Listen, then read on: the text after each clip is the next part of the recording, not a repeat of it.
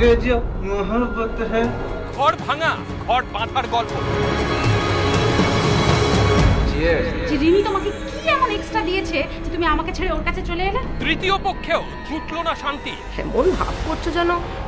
ছাড়া আর কারোর সাথে শোনি চললাম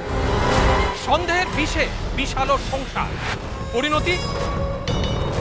পুলিশ পার্সে দেখুন স্ত্রী খুন তেইশে মে রাত সাড়ে আটটায়